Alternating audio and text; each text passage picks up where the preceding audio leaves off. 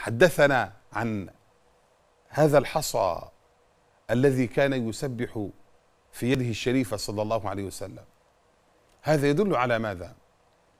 يدل على خشية هذا الحصى من الله سبحانه وتعالى. يسبح مولاه ورسول الله عليه السلام يسمع تسبيح ذلك الحصى وحدث بذلك أصحابه وأخبرنا عن ذلك. وهذه معجزة أيد الله تعالى بها نبينا محمدا صلى الله عليه وسلم.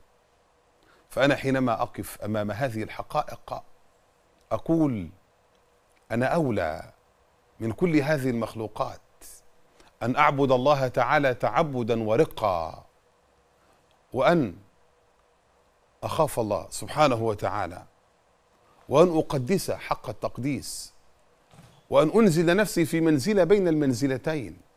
بين الرجاء في رحمة الله عز وجل وبين الخوف من عذابه سبحانه وتعالى.